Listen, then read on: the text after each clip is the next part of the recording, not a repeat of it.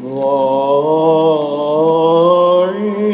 to the Father and to the Son and to the Holy Spirit.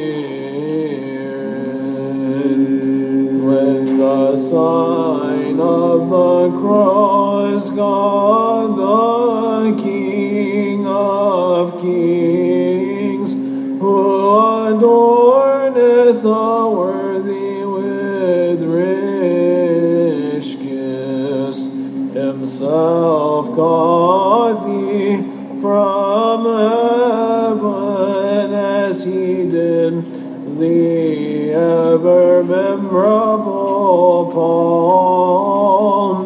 Oh, o Constantine,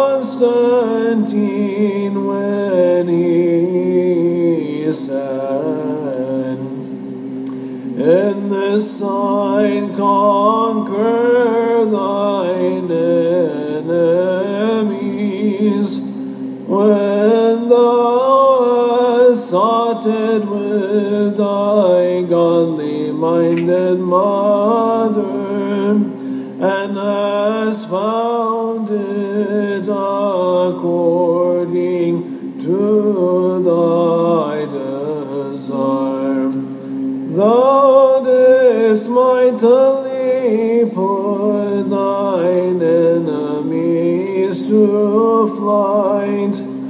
With her, therefore, entreat the only lover of mankind, in behalf of orthodox sovereigns